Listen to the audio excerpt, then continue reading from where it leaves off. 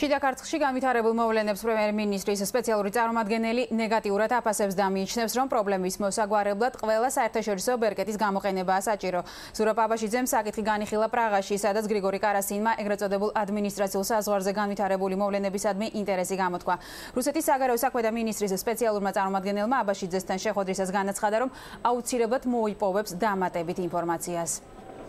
ამ პიროვნებამ რაღაც გულთან მიიტანა ეს ყველაფერი და ნათქვამიც იყო რომ ჩვენ დავინტერესდებით რომ გავარკვიოთ რა დამატებით ასე ვთქვათ რაღაცა ინფორმაცია მოვიპოვოთ ამასთან დაკავშირებით და მოდით მე ჟენევაში 26-27-ში უფრო დეტალურად ვისაუბროთ იმის შესახებ თუ რა ხდება.